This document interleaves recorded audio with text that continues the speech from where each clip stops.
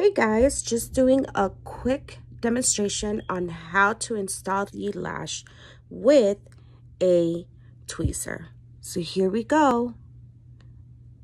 And I'm to use you guys as my mirror. And as you guys can see, it went in just perfect.